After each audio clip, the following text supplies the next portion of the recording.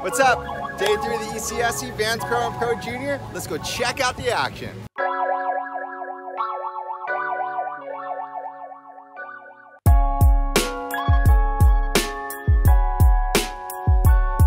Yeah, the conditions have definitely changed today. Yesterday was that dreamy offshore butter session.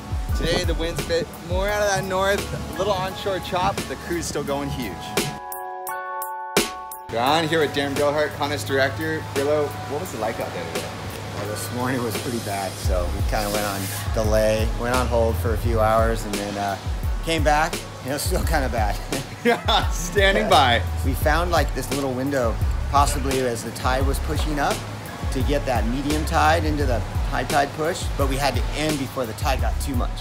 Let's see what tomorrow brings. Yep. Yeah,